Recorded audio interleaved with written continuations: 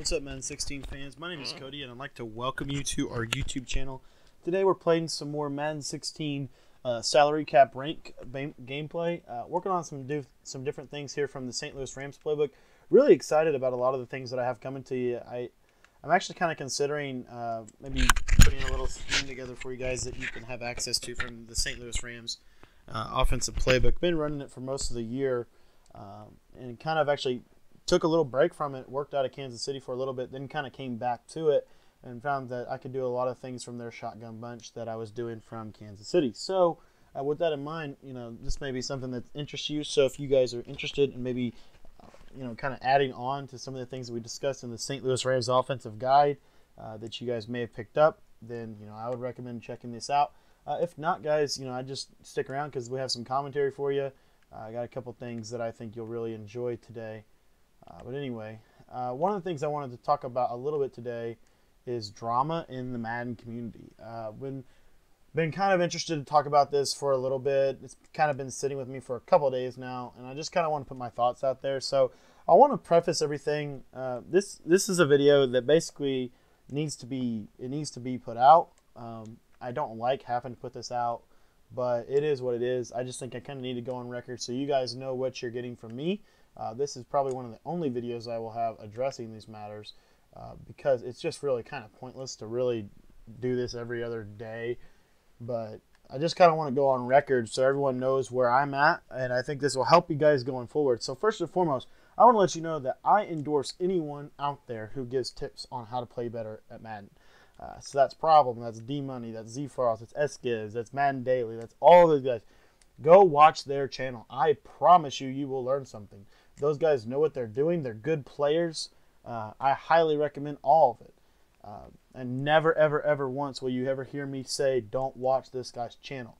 Even Shocker 360 probably has something out there that he can help us with. And I know how stupid that sounds, but I'm just telling you guys, it doesn't matter who you watch. It really doesn't. You can watch me, you can watch Problem, you can watch S. Gibbs, you can watch Z Farls, you can watch D Money, you can watch I mean, on and on and on. It doesn't matter who you watch. Um, a lot of us are going to give you similar tips. They're, they're just conceptually maybe a little different from formation to formation, but overall, it's the same. It's the same game. Um, it really is, guys. I, I know I sound like an like some kind of old you know, I don't even know, some kind of old Madden guy that's like, yeah, just, you know, whatever, everybody love everybody. But in all seriousness, guys, we all play the game. I mean, we're just playing the game. That's all we're doing. Like right here. So I get, so he run commits, right? That pisses me off. I hate when people run commit. But he got me. He made a good play. You know, that's fine. I'm not going to get mad about it and go out and, you know, do whatever. Like, it is what it is. He got to stop. Good for him. Um, my point, the reason I'm saying all this is, the, is really this. The bottom line is, guys, whether you watch me, whether you watch S. Gibbs, whether you watch all of us, I don't, it doesn't matter. You're going to see similar concepts. Um, for example, right, let's take zone coverage. So if you want to learn how to beat zone coverage, corner streak flat, probably one of the most effective things this year. Did I create the corner streak flat combo? No, I didn't. Did S. Gibbs create it? No, he didn't either. He, but he put a video ad on it last week. Here's the point. I don't care who you watch. It doesn't matter to me. and you shouldn't care either. Um, I think the I think the problem is a lot of times we get caught up in this pride battle. You know, we want to think we're the best because we found the best plays.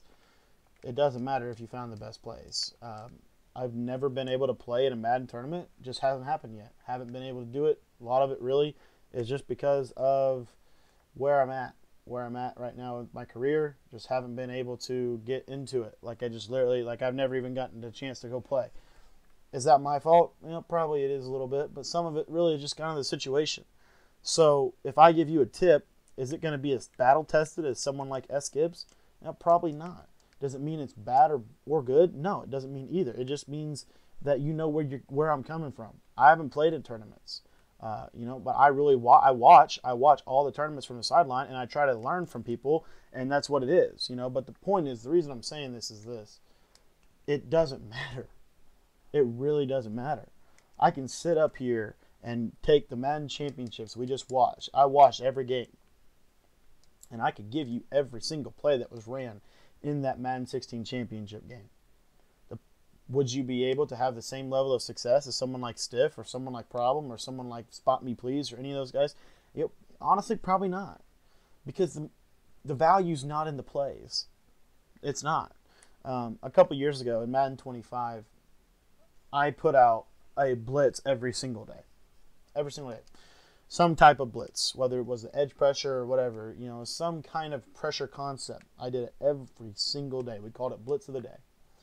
You know how much better that got me at the game? Not very much better, right? I still I still was about the same level that I was the year before. Now, what it did do was it gave you guys more and more plays that you could use. It didn't make me better, and honestly, it didn't make you better. That's why I stopped doing it. My goal is to make both of us better. My goal is to get as good as I can at this game, and my goal is to help you get as good as you can at this game. Well, that kind of sucks. We took our touchdown away. But my point is this if we're going to get better at the game, we can we have to be willing to learn. Okay? Because learning is the prerequisite to growth. You have to be willing to learn to grow. Therefore, if you're not willing to learn from someone that you maybe don't respect because you think that he is stealing other people's plays or whatever, then you're not going to learn anything from him and you're not going to get any better. We can learn something from everyone whether they're teaching it to us or not, we can learn something from them. And my point is, my point is really this, guys. People are going to steal. That's what they do. People are going to have drama. That's what they do. Um, any community you go into, whether it be Madden or real life, like people are going to do that. It is what it is. People are going to post plays that I have. I'll probably post plays that they have. Half the time, we won't even recognize that we're doing it, right? Um, so how do we handle it? productively. Uh, for example, right in this bunch, I mean, a lot of what I do is what Skimbo does. Okay, is what it is. You know, he he probably executes it better than I do. The point is, guys, it doesn't matter. All that matters is execution. In this in this year's game, in every year's game, that's all that matters is execution you can you can tell me that you were the first one to ever run the shotgun bunch weak. If I execute better than you, I'm going to win. If you execute better than me, you're going to win.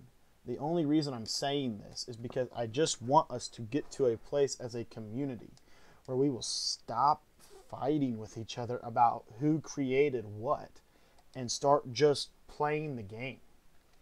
Um, because it's a game. It's a game. At the end of the day, this this is a game. You know, it's it's like we.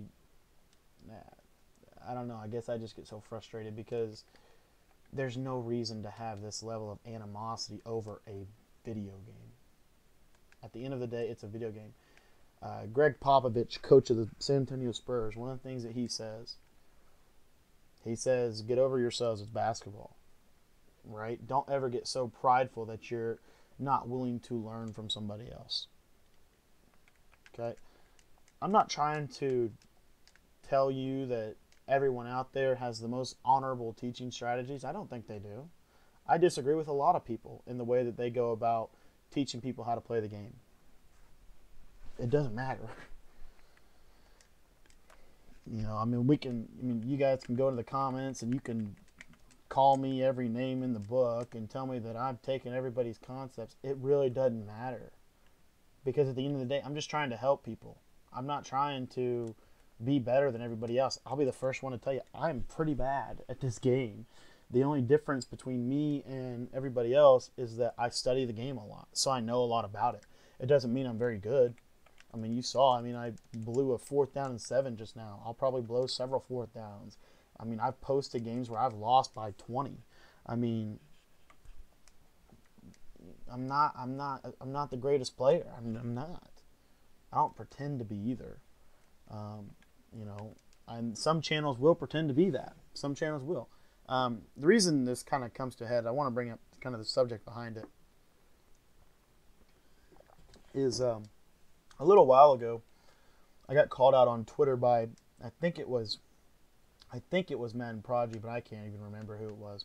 Somebody called me out on Twitter and they just said, "Hey, you know, some kind of accusing me of some kind of glitch or something. I don't even remember." But what happened as a result was interesting because a little bit later, this same guy got into it with another guy in the community, and it sparked this really frustrating time for me anyway because not thinking I posted something on the page. I posted something on the guy's page, called somebody out, and on and on and on. And I got suddenly thrown into this drama that I didn't even want to be in in the first place. Uh, you know, I just kind of let my feelings be known that I didn't like the drama that was in prevalent in the community. Well, as a result of that, uh, people got their feelings hurt, and they wanted to post on and on and on about how I take whatever I take other people's plays, or I don't know the whole story. And they're right, I don't know the whole story, and they're probably right too. I probably do take other people's plays. Do I necessarily know that? No, I don't. I don't really watch everybody else. Occasionally, I'll turn it on just to see what everybody's doing because it interests me. It has nothing to do with the fact that I can't come up with plays on my own. It really doesn't. I mean, it's a play. And that's really the point, guys. This is so stupid. Like, I just wish we could get to a place as a community where we would stop fighting over title. Who cares if you invented the sting pinch zone? Did you win the tournament? You know? And I'm not saying that to kind of puff myself up. I'm saying that to bring everybody else down. like I'm just trying to get us to a point as a community where we can be where we can just kind of be transparent and be okay with however things are going to be. Like there's just no reason for us to have this all this bickering because at the end of the day, if all we're trying to do, if we're really honest with ourselves, if all we're trying to do is really help people get better at the game, you know, then whether I whether I get 100 views or you get 100 views or she gets 100 views or they get a billion views or whoever gets whoever, if they're getting better at the game, it's all that matters, right? Because that's our goal, right? But a lot of times we lie to ourselves and we say, you know, oh, my goal is to help everybody get better, but really what your goal is is to get your channel bigger, or really what your goal is is to, you know, get yourself noticed by EA Sports, or really, which if we were honest with ourselves, we could probably have a little bit easier time of achieving our goals. The problem with most of us is a lot of us lie and say that we want stuff that we don't, and we actually want something else. The only reason we say we want the other stuff is because it's more noble, and we have this false sense of mobility that, in my opinion, is really wasted because what does it matter anyway? Well, what does it matter if I'm out to help people or I'm out to grow my channel? Like, who cares? Just do what you want. Like, my point, guys, honestly, is this. First and foremost, as a community, I think we need to get to a place where we're able to just share information. I mean, the bottom line is if you look at the bottom right hand corner of the screen every time, EA Sports tell you exactly what I did. That's why there's no innovation. Madden Challenge problem shows up, runs fullback dive about every play. Ends up in the Madden Challenge finals. Is that because problem is so good? No. I mean, yes, but no. It's it's because it, the fullback dive is not what made him so good. That's my point. What makes him so good is how he uses it. So I could give you, for example, uh, uh, I think uh, Lights Out ran the two man under. He ran that Dime One Four Six two man under blitz that I supposedly stole from D Money. Well, are we going to say that Lights Out stole that from D Money? I don't think it matters, to be quite honest. So that's what I'm just. I just kind of wanted to say some stuff like that to you guys, just to kind of let you know where I'm coming from. Like, I'll probably steal people's videos. I don't mean to. I don't. I don't sit out and just Google people and watch their show. I don't care about their show, to be quite honest. I got too much stuff on my plate. I got way too much that I'm doing to be concerned with the latest blitz that someone posted. I mean, I honestly do. You know, now five years ago, I would have had, you know, I have time to sit and just watch everybody else. But I don't have that time anymore or that desire. So I just want to be kind of clear where I'm coming from so you guys know what you're getting with me. I'm not going to get involved in the drama of who posted what first or who did what first. I'm not going to do it. You'll never hear me, ever hear me complain that somebody posted, that somebody stole my, my video. Never. I just won't do it. Because to me, you can steal it. I don't care. It's not that important to me. Okay? Likewise, you'll never hear me you know, I, I try to give credit. Like if I like if I'm doing something, for example, when like if I run the shotgun bunch weak, you'll see me playmaker the running back sometimes. Well, Too Tenacious is someone that taught me how to do that. I was watching one of his games and he was doing that. Okay, so I'll give credit to Too Tenacious. But I'm not going to give it all the time because it doesn't matter. It doesn't matter who invented it. It really doesn't. Um, this is free market. This isn't copyright material. It's not like we're going to go to jail because we stole somebody's blitz. It just it it's just a stupid argument, guys. So just wanted to let you know where I'm coming from on it. But for the rest of this, I want to just kind of get into this commentary. So um, what I've been doing a lot lately is running this Dime 146 because, like I said in the other one of the other videos I posted, people are people are starting to get away from two man under for some reason. I don't know if it's because people are getting better at beating it or whatever, but I'm still having a lot of success with two man under. Like I have not seen anyone that can really really beat it, um, even at the tournament level. Like they can beat it, they can get a couple dots here and there, but like as a whole, they normally have a very very hard time. And the thing about two man under that I love about it, the best part about it by far, is that it does such a good job of just kind of slowing the game down and letting you see what kind of routes they have. Um, the more I run two men under, the better I like it. So I've been doing that a lot on defense. Um, another thing I've been doing is on offense, um, starting to maybe run, mix in some some four verticals. Um, that's something else I've been doing. So that's been beneficial. And what I'll do oftentimes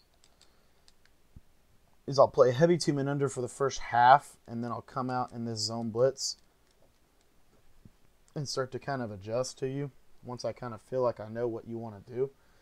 So this guy, uh, what he's been doing a lot of is crossing patterns uh, to try to beat man to man.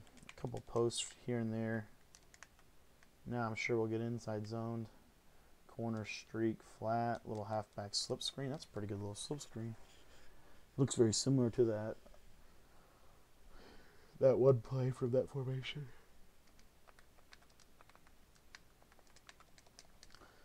Um, another thing I'm doing, I play over the top coverage a lot. I find that to be very effective. Um, but my big thing is like on defense, you just don't want to give up big plays. So I try to watch that big play stuff. As I say that, I give up a big play. See, that's why you can't run cover three. and I'm telling you, it doesn't matter who your corner is. Like, sometimes you just get mossed.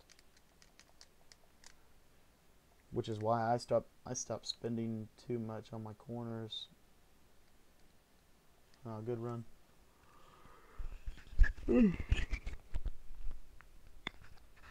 on offense, I've been getting really, really good at goal line scoring plays. Um, I'm finding that those post routes are really, really effective, especially like the unbumpable post routes. Those are really, really effective. So I've been using those. Uh, I haven't really been doing a whole lot. I still am struggling with my bunch because like, like it's really good, but it could be better. there's a. I'll tell you what, guys. This Kareem Jackson is pretty good. Or William, is it William Jackson or Kareem? I think it's William Jackson. He's got like 98 speed or something like that. Crazy.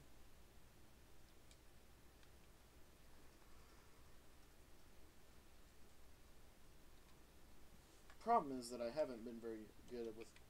I haven't been mixing in PA post enough. So that's been a task. Oh, I just threw an interception. That sucks. Kam Chancellor.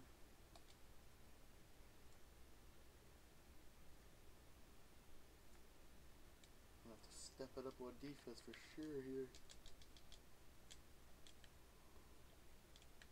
Let's see what he does here.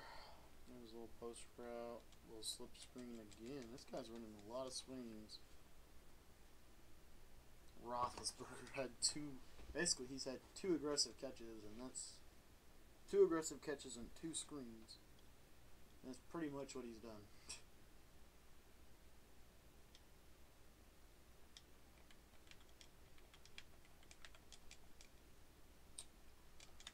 Probably an inside zone here. Oh, this one-on-one aggressive catch. Can we get that? Are you kidding me?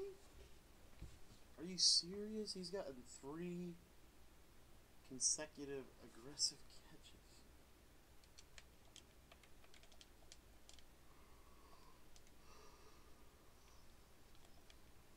There's the uh, halfback quick base. We're in trouble. We're in trouble this game. Been doing really good in the last couple of games, but dang it, man, he's gonna. There's the halfback base again. Man, it's it's hard to stop. I'm trying to figure out how to stop that quick base in combination with the verticals and the slip screen.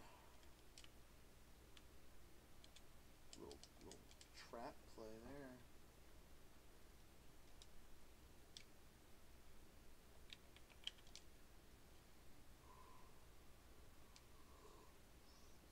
Oh, kind of gambling here, but I think he's going to go halfback base, so we're going to run commit. I'm going to user this safety. Yeah, gamble. Now what he'll do, no huddle? Nope, no, no huddle. If I was him, I'd take the field goal here.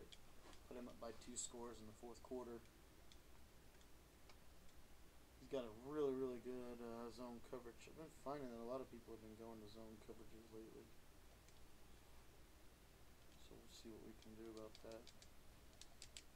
Been finding that verticals has actually become one of my favorite plays. It's actually one of the simplest plays, but it very effective. Come on, Jackson. Oh, dang it.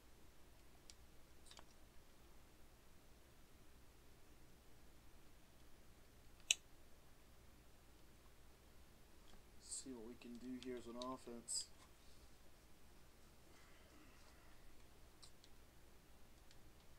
See, like right here, this is like quarters. Going man. Little dime to Victor Cruz. Now, see right here, uh, this is where I kind of go back and forth on like how I want to play this, but I really just want to I'm playing from behind, so I need a quick score. So however I can get that is what I'm going to do here. Little crossing pattern to Stanley Havili. I'm going to try to get to about the 30 yard line, and then I'll take a field goal if I can, depending on where the clock's at.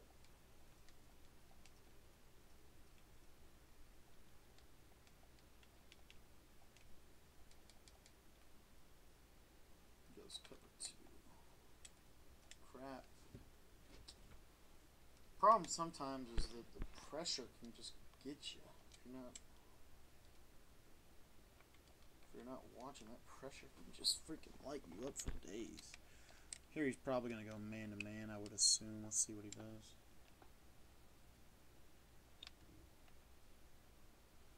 Okay, get my man Trey Williams open field in the open field. There's my man Trey Williams. And then what I like to do in these situations, so for example, let me just explain what I'm going to do here. So this is kind of important. So I've got about, let's see, I've got like 30 seconds. I need to score in that 30 seconds. I need to score before the two minute warning.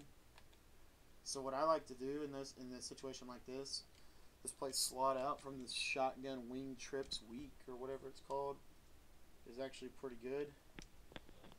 What makes it so good is it's got that post route to the tight end, and then I can motion snap this little corner.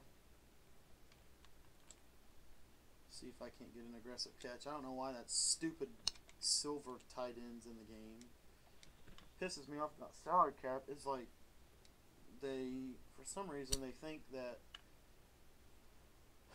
they think it's okay to just like take your best like for the fatigue. Like the fatigue drives me insane.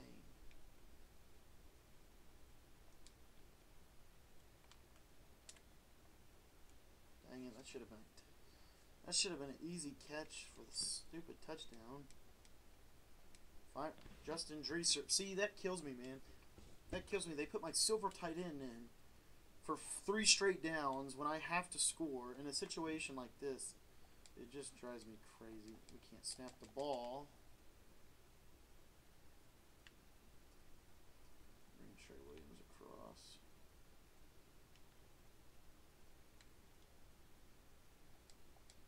Crap, that was so stupid. Yeah, that was stupid of me. I should have just thrown it away. Because, see, now we only have 17 seconds. That was pretty bad clock management. Because, see, now we're going to have to kick, kick the ball out of bounds. The reason we kick the ball out of bounds here is so we can save that two-minute warning.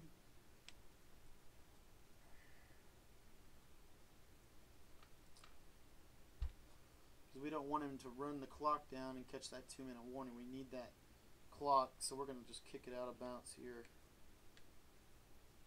I hope it goes out of bounds. It should. There we go. Kick the ball out of bounds. What it's going to do is it's going to give us a little bit more time on that clock. And ideally here, we'll see what he does, but he's probably going to run three consecutive halfback bases. If I'm him, I throw the ball here on first down.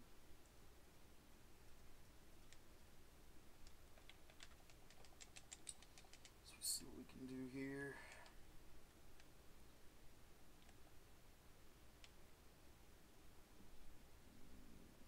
There's a big sack.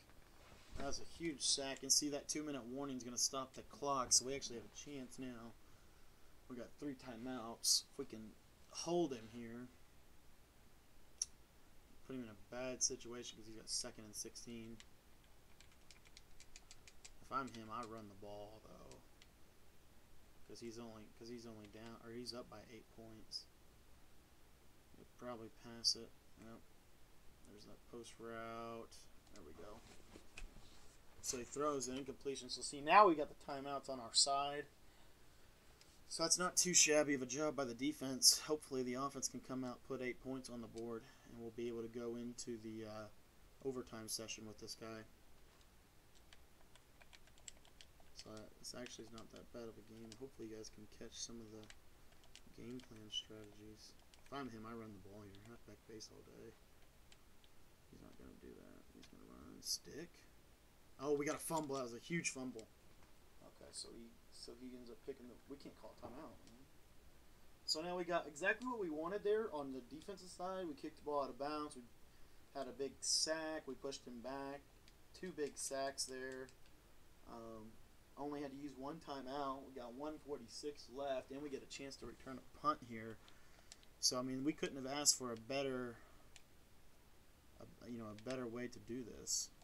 Oh, I thought we could hold that, hold that block, maybe break a punt return.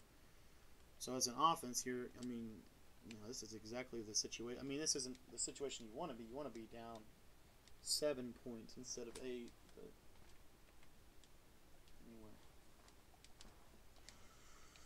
let's see what we can do here.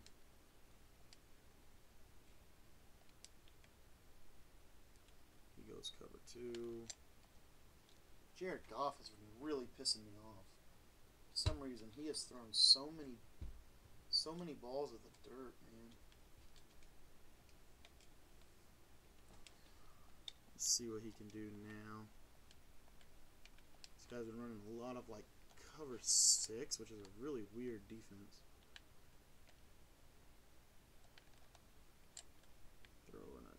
To Brandin Cooks, and he catches. What a catch!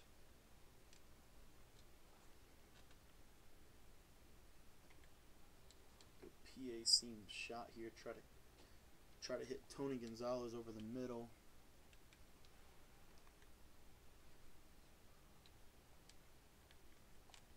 We got Sanders open. So that's pretty good drive there. Actually, we have time too to go for two, and if we don't get in for two, we're able to make some adjustments. We're going to go halfback toss. Normally they sell that to stop your fullback slam. So we're going to go halfback toss. See what we can do here. Yep, so we're in for two. So, ah, pretty good. We got a chance here.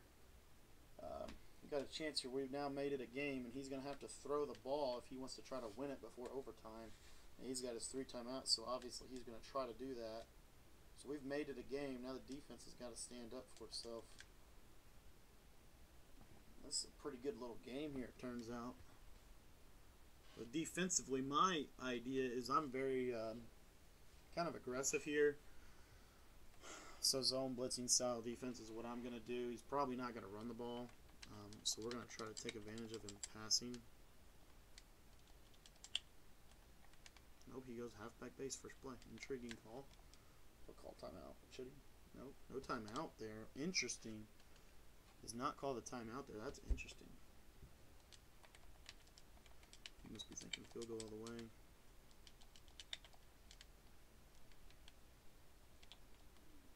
Mm, can we get something?